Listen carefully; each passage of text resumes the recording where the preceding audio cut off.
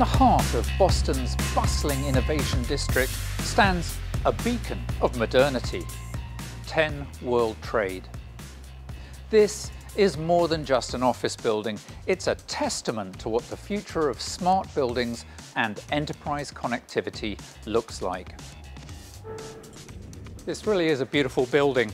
It was designed by the architecture firm Sasaki and they've included these incredible Gothic arches in the atrium here which give it a feeling more like a cathedral like Cologne Cathedral or the Sagrada Familia in Barcelona than an office building in Boston. It's very spectacular. Today's businesses need more than just space and power. They require seamless, reliable connectivity to thrive in a digital world. Modern buildings like this one are leading the charge with next generation indoor 5G infrastructure. I mean, connectivity is, is ubiquitous in our daily lives now. And especially when you have a building like this that has so much steel, so much concrete, triple pane windows, and the built environment around it, uh, it's not a nice to have, it's a must have. Why was it important for you to work with Ericsson on this project? You know, Ericsson is a, is a generational company, right? It was more than just their brand recognition and the reliability that comes with that brand, but also their unique ability to be able to guarantee that with the DOT system, regardless of which carrier your company may be tied to. It will work on day one when you come to the office. We talk about technology, we talk about sustainability, but what we don't talk enough about is how that actually impacts the way we experience a place. And so whether it's the Ericsson Dot or the smart windows that we have here, it's all about creating the most enjoyable environment possible for our tenants. So that is an Ericsson Radio Dot and you know, I know it doesn't look like much, does it? It could almost just be a smoke alarm or something.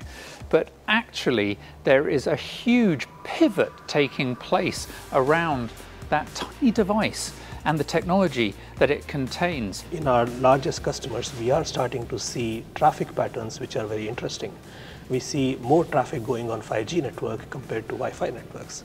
Because when you deploy a neutral host network as well as a private 5G network, then all of your smartphone traffic is going over that 5G network. Yeah. No one wants to log on to a web portal to connect to Wi-Fi.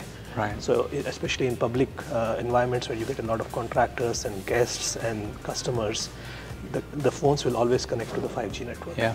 Similarly, in industrial environments, your, all of your industry tools, all of your industry 4.0 applications are running over the private 5G network. The combination of all of this traffic is much higher than what we see on Wi-Fi networks in these customers. bringing the outdoor network in is table stakes in assets like this. Mm. Uh, there's the expectation on the part of tenants, visitors, vendors even, that their phones are going to work everywhere. So what was it about Ericsson as a partner uh, that made you pick them for this project? Ericsson is, you know, the backbone of the three carriers networks typically. Uh, and so it gave us a carrier grade solution, one neck to choke, uh, all the way through. So it, it was a really easy decision. And what was great about it was once we got to know the product and got to know the team that supports us, we got more and more creative with it. We started deploying, we've deployed it in ways here that we just couldn't have imagined hmm. until we got to this solution. It's been a great partnership. This technology, indoor 5G, yet again proves how digital infrastructure combined with physical infrastructure is the future of industry not just here in a smart building in Boston, but across industries worldwide.